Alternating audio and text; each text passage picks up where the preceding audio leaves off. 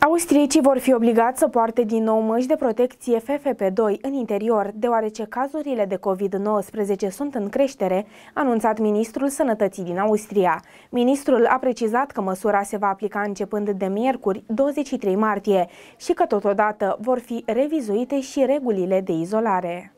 Austria devine astfel prima țară din UE care reintroduce restricții în condițiile în care eliminarea lor în mai multe state membre ale UE și sub varianta mai contagioasă a variantei Omicron a coronavirusului sunt probabil cauzele care au condus la o nouă creștere a numărului cazurilor de COVID-19 în Europa.